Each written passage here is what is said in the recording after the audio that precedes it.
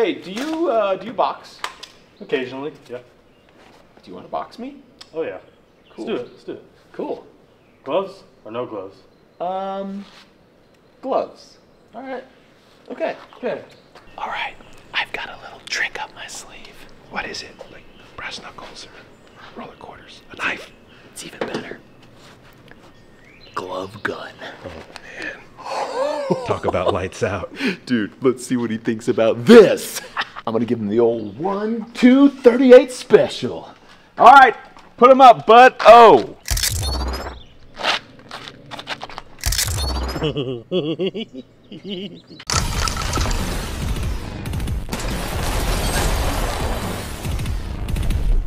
Today's video is sponsored by PDS Debt. Getting into debt can happen so easily, and the system is designed to make getting out of it nearly impossible. It can feel like an endless cycle with no escape, but I'm here to tell you there's a way out. When you're making your payments on time each month and you're not seeing those numbers go down, it's time to switch up how you're tackling your debt, and PDS Debt can help. They can help create customized options for anyone struggling with credit cards, personal loans, collections, and even medical bills. There's no minimum credit score, and anyone with $10,000 or more in eligible debt will qualify. PDS Debt will help you roll the entirety of your debt into one monthly low interest payment, making it easier to pay off in a fraction of the time, which will save you thousands in interest and fees. Starting is just too easy. Just jump on their website, answer a few questions, and fill in the information. In less than a minute, you'll have a free quote customized to your situation with no obligations. It really is no surprise that they're a top rated company on Google and have an A plus rating on Better Business Bureau. PDS Debt is offering a free debt analysis. It only takes 30 seconds. Head over to pdsdebt.com slash ranch to get your free debt assessment today. We have pistol classes that we have an instructor, he's a police officer, doing out at the Desperado Range, our other range.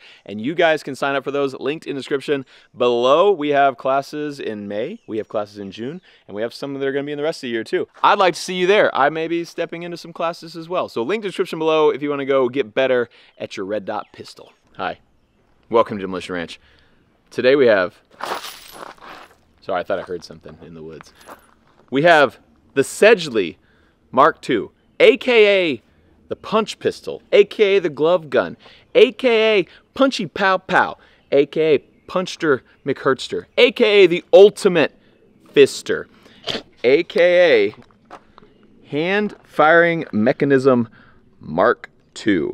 This is Brandon Herrera's gun. Uh, appreciate Brandon for letting me borrow this thing. I saw one of these at auction one time, ended up not buying it, so I've had my eye on these ever since. And then he put out a video a few months ago, and I was like, hey, can I borrow this thing? It actually scares me. Um, we put it on a sturdier glove than he had it on. The glove is not original, but the pistol is. This is a World War II pistol. Um, it's made to go on a glove, just like this. And uh, these are actually super rare. In his video, he said like 50 to 100 of them were estimated to be made. One of these sold at auction uh, about six years ago for $23,000. Not sure how much Brandon paid for this thing, but it's a rare piece. I was trying to figure out what it's actually classified as, if it's classified as a pistol or just a firearm. Um, I think it's just classified as a curio relic. Uh, it is chambered in 38 special, and you put a 38 special round in there, and this is your barrel right here, this is your firing mechanism. Whenever that is depressed quickly, you can actually see the firing pin fly up right there. So you'll punch and it will just lever in here and hit the firing pin into your primer, firing a 38 special straight out the barrel into whatever you punch. Now this thing is made to be attached to a glove, but we started thinking, we were like, well, theoretically, it doesn't have to only be attached to a glove. You could unbolt these off the glove and you could theoretically put the glove gun on anything that might not be a glove, which we're also going to explore today. But first, let's try it as a glove gun and see how the punch pistol works. So this pistol was originally made for the OSS to use against the Nazis. You've probably seen the movie Inglourious Basterds, um, and uh, it was used there.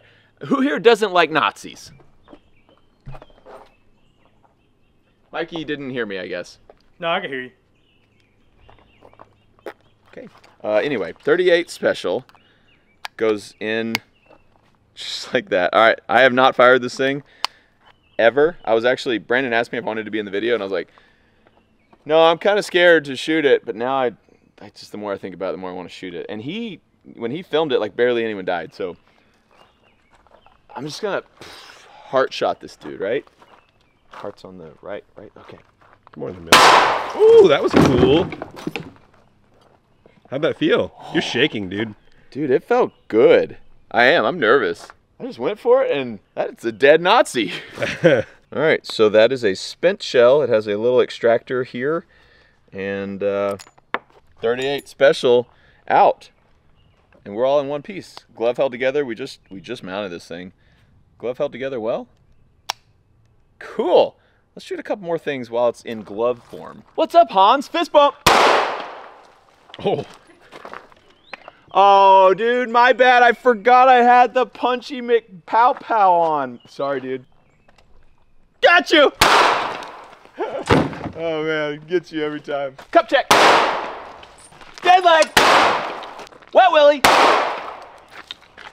Did that tickle? Let's see what she does in some ballistics gel. Ow, that one hurt. Oh, it went sideways. So it is like shaking back on my fist every time. But yeah, that one. All right. right. Yeah, I mean it came Oh, out. yeah, it did come out. So there's what the fist looks like. You can see it's like just it's bashing my knuckles every time I fire it. Not too bad. The first few didn't hurt. Now that I've done a few, it's starting to add up. But it works, and it's it's a little bit more powerful than my punch. My punch is basically that powerful already.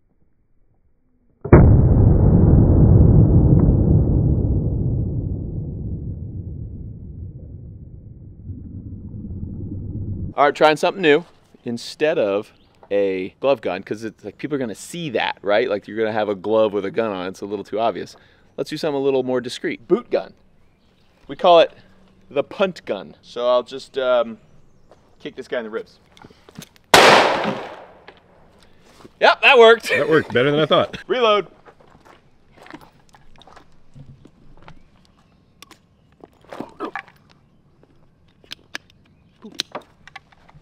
Back in the fight.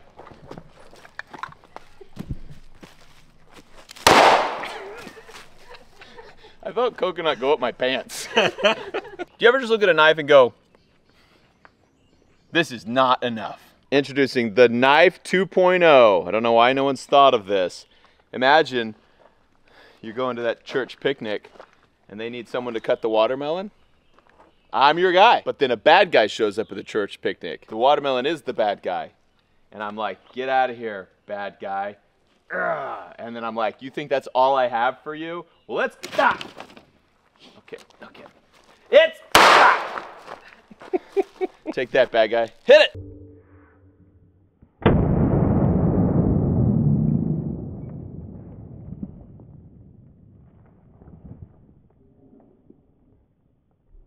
What's up, Matt?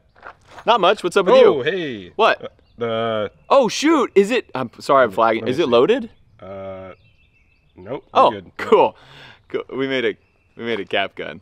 All right, I'm gonna headbutt something. All right, just kidding. I am not brave enough to headbutt with a gun hooked to a hat. So I'm just gonna hold a, a guy who has a gun hooked to a hat hooked to his head. We Yeah, take. but you were wearing it in the thumbnail. You're a liar.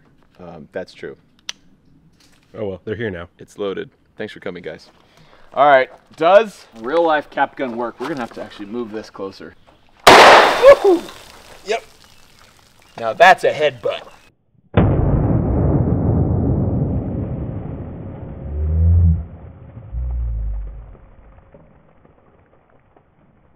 So slow. Boom. Oh yeah. And there's all the stuff that's flying all over my arms right there. This is a cattle prod with a gun. So like, yeah, if your cattle are, you know, not reacting to when you're trying to zap them, and you need them to move a little faster, you just go ahead and, and load up your 38 special in there, and you're like, get on, girl, get on, Jeez. and then she runs.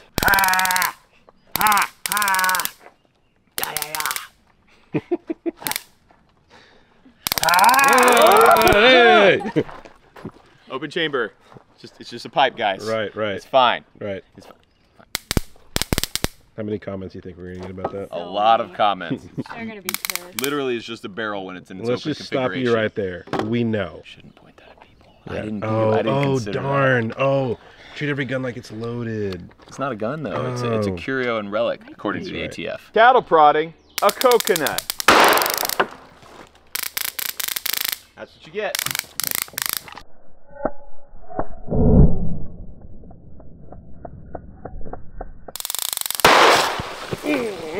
Yep, got it.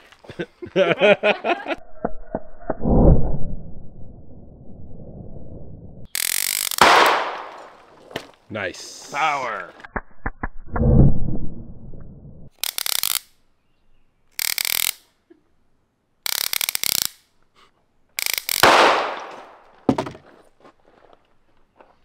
Can you hear me now? He's an alien. I'm glad I killed him. He's an alien.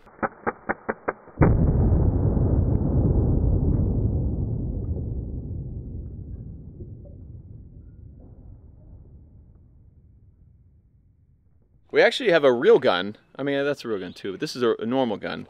This is a Canik. Um, you've seen several Caniks on the channel. I have several of them, and I really, really like Caniks. Not paid to say that. I just think they're cool. This one is extra cool though because it is a collab between Taran Tactical and Canik. So this is the TTI Combat version um, of Canik's gun. And uh, yeah, we have a few other Taran Tactical guns. We've got the, uh, Sand Viper is my favorite, but yeah, a little striker fired Canik TTI collab here. Got that.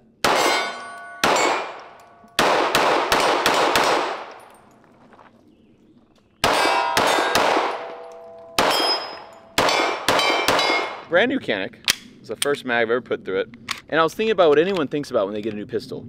How would it be for pistol whipping? But then I was like, what if we hook a gun to the gun so when you pistol whip, you still have ammo? Instead of a glove gun, it's a gun gun. Yeah, it's a gun. When you run out of ammo, you could pistol whip with it. With the gun. The second secondary gun. Gun that shoots bullets that way and, and this. Okay. Watch out. There's a this is sketch. Okay. Um yeah, we're just gonna Yeah, this is great.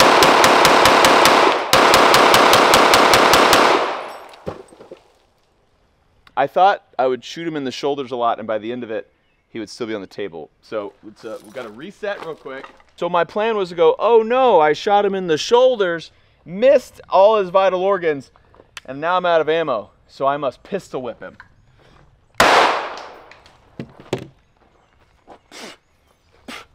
What? Did you get a little alien I blood? just got alien misted. No big deal. Um, yeah, that's better than a regular pistol whip, though. I think that was that's a good way to do it.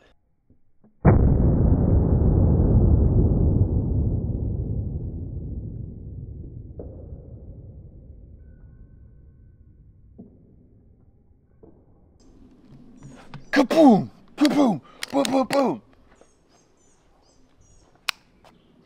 That's pretty cool. Thanks, Brandon Herrera, for letting us borrow the glove gun. It's very interesting. I don't think it's very practical. I don't know when you'd ever really need it, but it's a spy gadget. It's a piece of history. It is pretty cool, and uh, it was pretty fun using it. We wanted to do it in kind of a different way than what uh, Brandon did with it. Why we hooked it to boots and stuff. Go check out my merch. Link in the description below. We got Desperado Resort hats. We got Bunker Branding gear.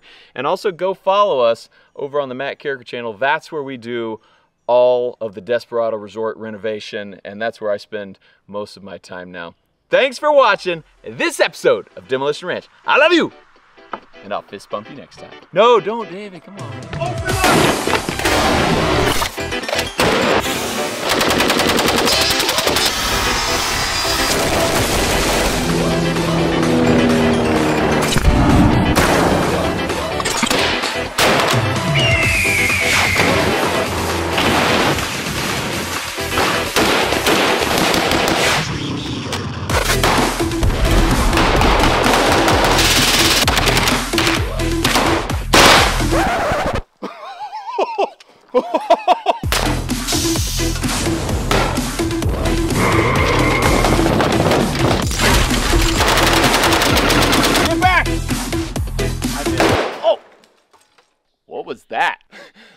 This video.